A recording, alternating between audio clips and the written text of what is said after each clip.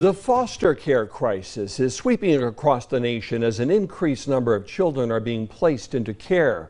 One nonprofit is making it their mission to provide resources to those looking to open up their home. 2822 Eyewitness News reporter Sydney Costas spoke to the Kindness Project about its expansion into the Poconos. Hope, kindness, and love the keys to the Kindness Project's mission of helping the families and children in foster care. With the cut of a ribbon Saturday afternoon, the Lehigh Valley based nonprofit expanded to Stroudsburg for its opening of a new kindness cottage, providing free clothes, backpacks, cribs, and more to foster families. The founder tells Eyewitness News the need is greater now more than ever. We are truly facing a crisis in foster care right now. There are not enough families. We are hoping that by providing all the things they need, it will allow more people to say yes to the idea of, of bringing kids into their home.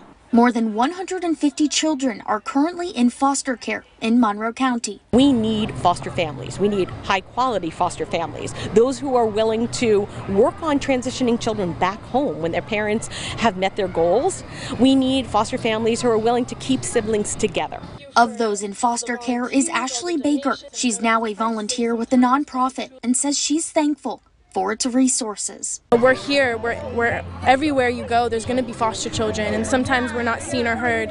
And they've been giving me the platform and giving all the other kids that platform to be seen and be heard. So it really touches my heart. Tackling the operations of the Kindness Cottage, Elizabeth Johnson is also a foster parent and says the end goal is priceless. When you first have a kid come into your home, they're maybe going through some depression and sadness because they're missing their family. But as you're able to work with them and their family and see healing come about, it, it really just brings joy to your life. In Stroudsburg, Sydney Costas, 2822, Eyewitness News.